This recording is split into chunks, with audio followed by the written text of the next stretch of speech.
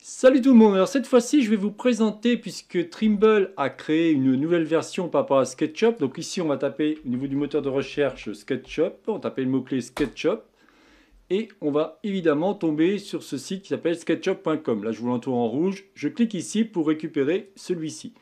Vous allez voir qu'il y a pas mal d'évolutions. Alors il faut savoir que moi je donne j'ai donné pas mal de cours à la fois sur ma chaîne YouTube et j'ai aussi donné deux formations sur frtuto.com. Là, je vous montre les deux vignettes qui vous permettent d'apprendre les bases de SketchUp et après on apprenait à créer un train. Pourquoi je vous parle de cela? Parce que quand on va ici maintenant dans forfait et tarifs, si vous cliquez ici sur professionnel, vous allez accéder à quelque chose de très intéressant moi, il faut savoir que comme j'ai finalisé une formation sur SketchUp Pro, là je vous l'entoure en rouge, c'est qui est, alors évidemment, hein, ce sont des logiciels payants. Hein. Ça coûte 299 euros par an si vous voulez la version Pro. Et celle que je vais vous parler, c'est la SketchUp Go. Vous allez dire, mais pourquoi je vous parle de cela ben, Pour deux raisons. La première, c'est que je vais faire bientôt une formation euh, payante qui sera sur euh, frtuto.com où je vous expliquerai euh, comment utiliser ce logiciel euh, en allant beaucoup plus loin que par rapport à ce que j'ai pu vous proposer au niveau de mes deux formations gratuites. Si vous regardez ici, donc il vous dit que c'est 119 USD, ça veut dire des dollars, 119 hein, dollars par an. Mais ce qui est vraiment génial, et c'est ça que je voulais vraiment vous expliquer, c'est que d'une part, vous allez pouvoir travailler au niveau de votre navigateur, donc pas besoin d'installer celui-ci, mais ce qui est génial, c'est qu'en plus maintenant, on va pouvoir installer SketchUp sur un iPad. Et c'est là-dessus que je voulais rebondir. Donc, je vais vous montrer ça de suite. Donc déjà pour commencer, il va falloir récupérer celui-ci. On va aller sur App Store. Et au niveau du moteur de recherche, hein, vous l'avez ici où il est marqué recherche, on va taper là, on va taper SketchUp.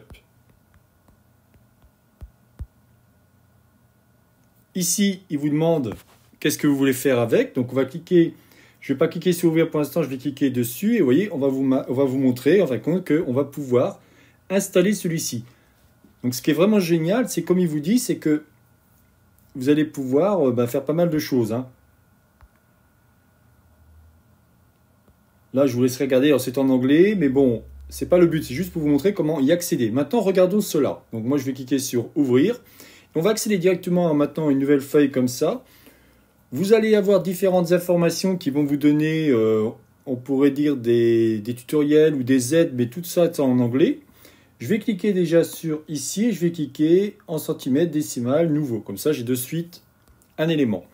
Alors tout va fonctionner euh, sur l'iPad, en l'occurrence, si vous prenez par exemple les deux doigts pour pincher, vous allez pouvoir zoomer. Avec deux doigts, vous allez pouvoir décaler votre écran. Par contre, un seul doigt, vous allez faire ce qu'on appelle l'orbite. voyez? Là, vous avez le personnage qui apparaît. Mais alors, ce qui est vraiment génial, c'est qu'on va pouvoir de suite, je vais prendre par exemple ici le carré, je vais pouvoir définir de suite mon élément. Il y a une très grosse différence qu'il va y avoir entre euh, SketchUp sur ordinateur et SketchUp sur iPad, c'est que si vous avez qu'un stylet, parce que j'ai oublié de préciser, oui pardon, il vous faut évidemment le pencil aussi, le fameux stylo pencil. Pourquoi? Parce que là, moi je vais cliquer par exemple ici au niveau de l'outil tirer pousser, je vais choisir celui-ci, vous voyez, je vais pouvoir faire ce genre de choses. Ça c'est vraiment génial. Après vous avez évidemment les distances, vous allez pouvoir paramétrer et ainsi de suite. Donc bien entendu, là, ce qu'on peut faire, c'est prendre l'outil ici, faire quelque chose comme ça. Pourquoi j'ai différents traits comme ça? J'ai un trait rouge, un trait vert et un trait bleu, ou un trait violet. Eh bien, ce sont vos inférences. Évidemment, on n'a pas du tout la même technique que sur un PC ou sur un Mac pour pouvoir travailler. Donc, ils ont fait en sorte de mettre différents liens ou différents traits. Vous voyez, par exemple, ici, je n'ai pas travaillé sur cet angle-là, après sur celui-ci, et ainsi de suite. Là, pour l'instant, je suis sur le rouge. Si j'appuie ici maintenant sur mon outil tirer pousser, je clique ici, on va pouvoir carrément créer une ouverture. Vous voyez? Tout simplement. Alors, ce qui est vraiment génial avec cet outil, c'est que bah, d'une part, vous allez pouvoir commencer à modéliser ce que vous voulez, mais si je reviens ici, je vais pouvoir ouvrir ce que j'ai pu faire précédemment. Je vais aller dans mon module SketchUp qui était en ligne, c'est ce qu'on appelle le cloud au niveau de SketchUp.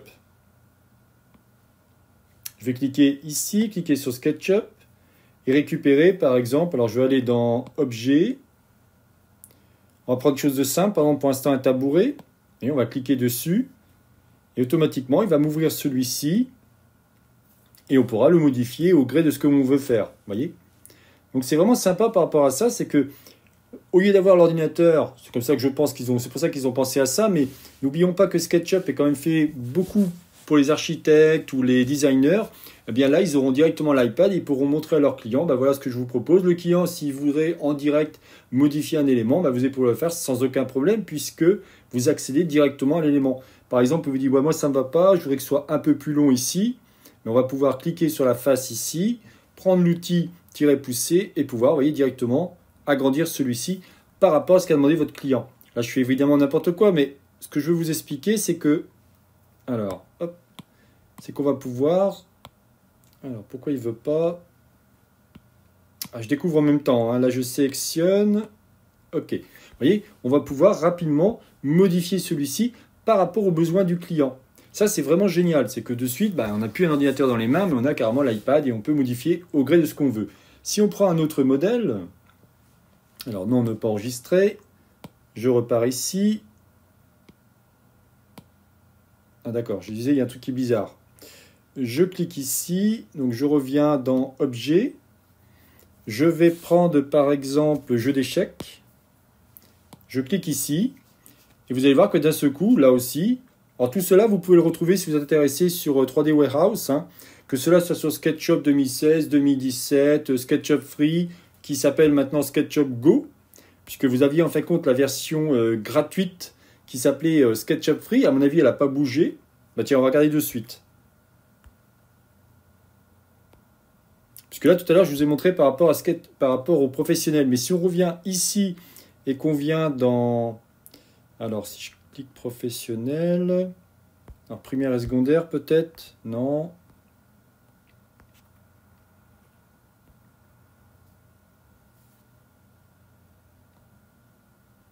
Voilà, SketchUp Free.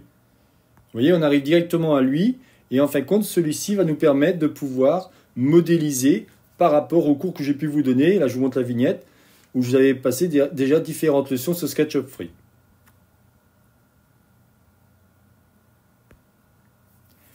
Et vous voyez, ce qui est génial, c'est que, pardon, si je reprends lui, alors, on va prendre ça avec le doigt. Si je prends par exemple un élément, je vais prendre lui.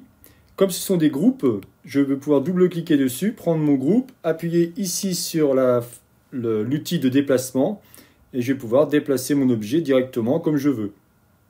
Bien entendu, par rapport à ma référence, voyez, enfin mon inférence, voyez, si je veux que sur que verrouiller par rapport à l'axe euh, rouge, je vais y arriver, je vais donc pouvoir verrouiller celui-ci directement par rapport à l'axe rouge.